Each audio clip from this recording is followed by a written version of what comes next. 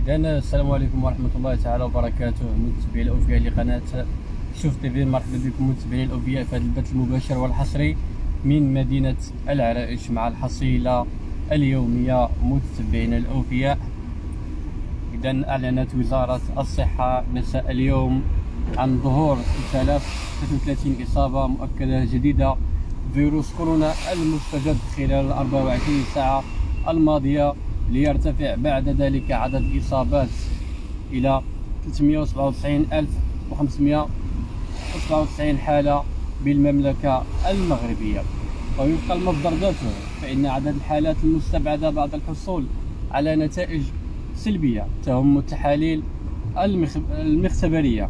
قد بلغ 3 ملايين و782 ألف و22 حالة منذ بداية انتشار الفيروس على المستوى على المستوى الوطني. وأفادت المعطيات الرسمية بأن الفترة نفسها عرفت 47 حالة وفاة جديدة ليصل عدد ضحايا كورونا إلى 6589 حالة. وكذلك تم التأكد من شفاء 3277 حالة شفاء إضافية لترتفع الحصيلة الإجمالي للتعافي إلى 353098 حالة. إذا عدد الاصابات كترتفع للأسف الشديد وكذلك عدد الوفيات عدد الوفيات كارتفع 47 ضحية من ضحايا كوفيد 19 إذا تهب وزارة الصحة بالمواطنات والمواطنين الالتزام بقواعد النظافة والسلامة الصحية وكذا الانخراط في التدابير الاحترازيه التي اتخذتها السلطات المغربية بكل روح ومسؤولية.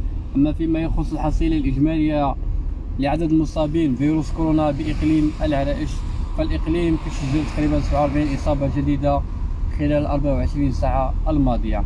إذا كما سمعتوا للأسف الشديد عدد الإصابات كترتفع وكذلك عدد الوفيات ولكن الحمد لله مقارنة مع عدد حالات الشفاء فارتفاع. كنشوف كنلاحظوا بأن ارتفاع في عدد الحالات ديال الشفاء اللي وصلت 3277 مقارنة مع عدد الإصابات. إذا كنتمناو من المتابعين الأوفياء لقناة شوف تي في أنهم يردوا البال ويكونوا على بال ما فيها باس الانسان يعمل الاحتياطات اللازمة ويدير الكمامة والوقاية من أجل الوقاية من فيروس كورونا اللعين. أيام معدودة تفصلنا عن اللقاح إن شاء الله أكيد أننا من بعد اللقاح غادي نرجعوا متتبعين الاوفياء للحياة ديالنا الطبيعية. وغادي نرجعوا للحياة ديالنا الطبيعية وغادي نعيشوا استقرار وإن شاء الله غادي نبعدوا من الأجواء ديال الكورونا وعدد الإصابات اللي كترتفع للأسف الشديد بشكل اللي هو كبير. إذا كما سمعتوا 3000 33 إصابة جديدة بفيروس كورونا خلال 24 ساعة الماضية. وبهذا كترتفع عدد الإصابات بإقليم عفوا بالمملكة وكذلك بإقليم العرائش للشهادة ارتفاع في عدد الإصابات مقارنة مع مع الأيام الفارطة. إذا 47 إصابة جديدة فيروس كورونا المستجد بإقليم العرائش.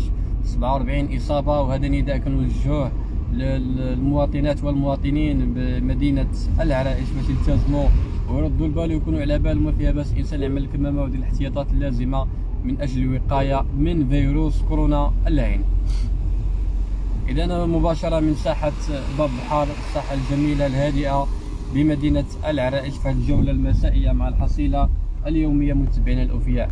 اذا كما كتشاهدوا كما كتلاحظوا فمدينة العرائش الآن خاوية.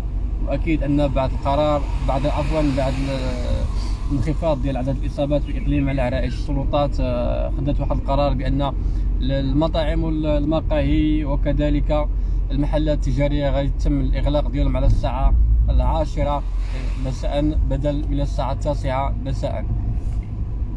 ابتداء أكيد ابتداء من من اليوم إن شاء الله. اذا كما كتشاهدوا كما كتلاحظوا للأسف الشديد كتوجب كورنيش المدينة والإضاءة ضعيفة للأسف الشديد. وهذا ما كيخلي أن المواطنين يتعرضوا للخطر ويتعرضوا كذلك للكريساج في هذا الكورنيش هذا نداء ودائما كنوجهوا نداءات للجهات المسؤوله بإقليم العرائش وكذلك للسيد عامل الاقليم باش يتدخل لأن الكورنيش كارثي بكل المقاييس للأسف الشديد. مدينة ساحلية والكورنيش ديالها كارثي بكل المقاييس. اذا بالقرب من الشرفه الاطلسيه المعروفة بالكون أتلانتيكو الكل كيعرف آه، الشرفة الأطلسية والدور ديالها في مدينة العرايش أي زائر لمدينه العرايش أكيد أنه غادي يزور الشرفة الأطلسية معروفة باركو أتلانتيكو بالمدينة. اذا كنتمنى أنكم تكونوا على ما يرام متابعين الاوفياء في هذا البث المباشر والحصري من مدينة العرائش وتحية لجميع المتابعين الأوفياء من داخل أرض الوطن أو من خارجه في هذه الجولة المسائية. اذا كما كتشاهدوا الناس باقا مخارجين اذا كنتمناو أن المتبعين الأوفياء والمواطنات والمواطنين يردوا البال ويكونوا على بال. وما فيها بس الإنسان يعمل الكمامه ويدير الاحتياطات اللازمة من أجل الوقاية من فيروس كورونا اللاعين أكيد أن الكل كيرى بأن فيروس كورونا آه، لا زال يحصد ضحايا. 47 وفاه 47 ضحيه من ضحايا كوفيد 19 اذا شكرا لجميع المتتبعين الأوفياء سواء من داخل أرض الوطن أو من خارجه. كنتمنى أنكم تكونوا على ما يرام في هذا البث المباشر والحصري من مدينة العرائش.